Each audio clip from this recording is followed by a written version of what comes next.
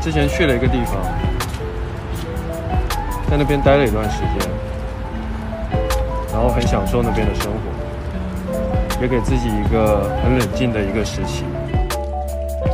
我觉得充了一下电，感觉回到了最初的那个出发的自己。我最近喜欢上了烹饪。